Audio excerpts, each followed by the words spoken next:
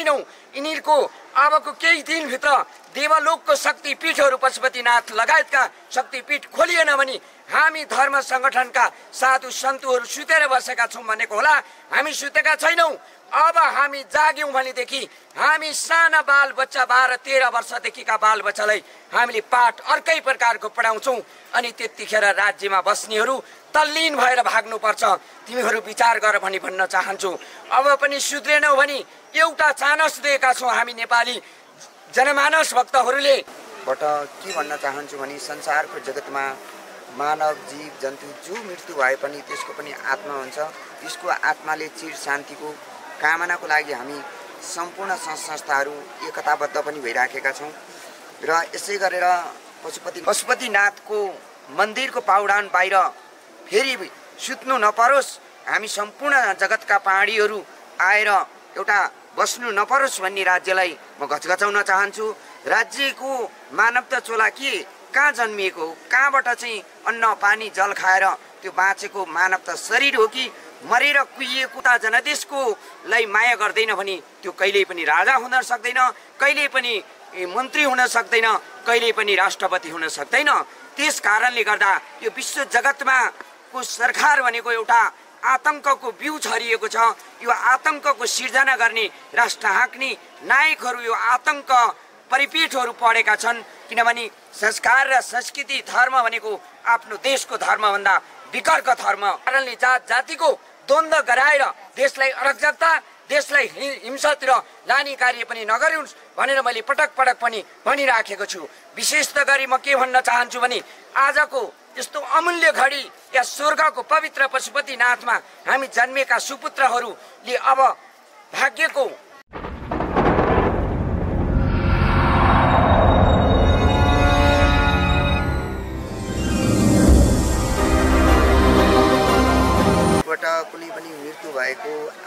चिर शान्तिको कामना गर्नलाई आज हामी प्रार्थना गरेका छौँ। र हामी विशेष त गरी पशुपति स्वर्गद्वारीकाबाट के भन्न चाहन्छु भने संसारको जगतमा मानव जीव जन्तु जो मृत्यु भए पनि त्यसको पनि आत्मा हुन्छ। त्यसको आत्माले चिर शान्तिको कामनाको लागि हामी सम्पूर्ण संस्थाहरू एकताबद्ध पनि भइराखेका छौँ।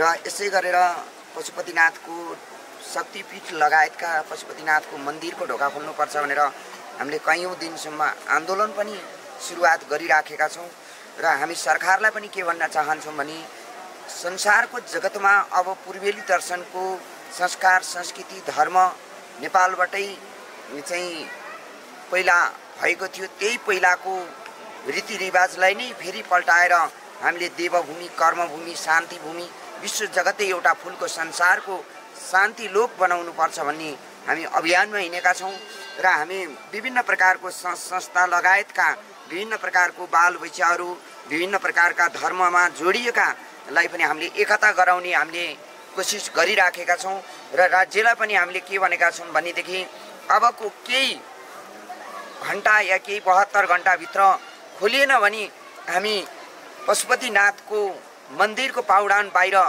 फेरि सुत्नु नपरोस् हामी सम्पूर्ण जगतका पहाडीहरू आएर एउटा बस्नु नपरोस् भन्ने राज्यलाई म घचघचाउन चाहन्छु। राज्यको मानवता चोला के? कहाँ जन्मिएको कहाँबाट चाहिँ अन्न पानी जल खाएर त्यो बाँचेको मानवता शरीर हो कि मरेर कुहिएको या गनाउने जल खाएर बौलाएको मानवता राज्यमा बस्ने एउटा षड्यन्त्र आतङ्ककारी हो भन्ने कुरा पनि हामीले प्रष्टै भनिसकेका छौँ। म विशेष त गरी भन्न चाहन्छु एउटा मानव शरीरको भागलाई हेर्ने हो भनेदेखि हाम्रो संस्कार र धर्म पूर्वेली दर्शनको धर्म संस्कार संस्कृति एकताको नेपाली हिन्दू धर्म हिन्दू संस्कार र संस्कृतिभित्र हामी बस्नुपर्छ भन्ने भावना अब सम्पूर्ण आमा बुबा बाल बच्चालाई सिकाउनु पर्ने आवश्यकता पनि आएको छ। यो सरकारको मुख ताकेर राज्यको मुख ताक्ने होइन अहिले विश्व जगतको संसारको जगतमा सरकार कोही पनि छैन।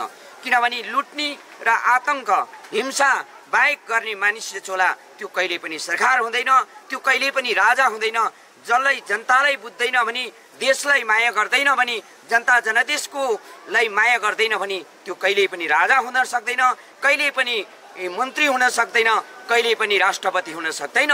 त्यस कारणले गर्दा यो विश्व जगतमा को सरकार भनेको एउटा आतङ्कको बिउ छरिएको छ यो आतङ्कको सिर्जना गर्ने राष्ट्र हाँक्ने नायकहरू यो आतङ्क परिपेठहरू पढेका छन् किनभने संस्कार र संस्कृति धर्म भनेको आफ्नो देशको धर्मभन्दा विकर्क धर्म मान्न पनि हुँदैन।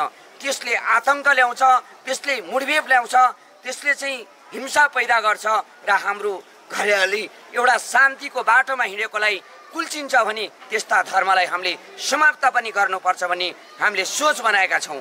एकताको सूत्रमा आउन सक्छ भने विभिन्न प्रकारका धर्म सङ्गठनमा बसेकालाई पनि हामीले एकता गर्ने प्रयास गरिराखेका छौँ भने विशेष त गरी म के भन्न चाहन्छु भने मुस्लिम होस् क्रिस्चियन धर्म होस् बुद्धिस्ट होस् हिन्दू होस् एकताको सूत्रमा हिँड्नुपर्छ। जब देश बचेन जनता बचाउनु पर्छ भन्ने सोचमा हुनुपर्छ। यहाँ राजा प्रधानमन्त्री राष्ट्रपतिको हुन्छ भन्ने कुरा होइन। पहिला देश र जनतालाई माया गर्न सक्ने नै राष्ट्रको एउटा नायक हुन्छ। त्यो नायक भनेको अब जन्मिनेवाला छ अब खेल्नेवाला छ भन्ने कुरा हामीले प्रश्न बुझेका छौँ र हाम्रा सम्पूर्ण युवा वर्गहरू युवती वर्गहरू साधु वर्गहरू यहाँ मन्दिरमा पूजा गरेर साधु हुँदैन घरमा घन्टी बजाएर साधु हुँदैन देशको जनताको र देश माया गर्दैन भने त्यो कहिल्यै पनि साधु हुँदैन कहिल्यै पनि भगवान्को संस्कारभित्र पर्दैन भन्ने कुरा पनि म विनम्र अनुरोध गर्न चाहन्छु। एकताको सूत्र एकताको भावले हामी मानवता चोला जुनसुकै जात कर्मको होस् त्यो एउटै जात हो एउटै कर्म हो भन्ने कुरा हामीले यसरी बुझ्नुपर्छ। एउटा पुरुष वर्ग एउटा महिला वर्ग भन्ने कुरा मैले पटक पटक भन्दै आएको छु। राज्यलाई पनि संसारको जगतको हिन्दू धर्मलाई पनि जुनैसुकै धर्मलाई पनि मैले भनिराखेको छु। कुनै पनि मानवको चोलाको रगत काटे एउटै प्रकारको रगत बग्छ। त्यस कारणले जात जातिको द्वन्द्व गराएर देशलाई अराजकता देशलाई हिंसातिर लाने कार्य पनि नगरोस् भनेर मैले पटक पटक पनि भनिराखेको छु।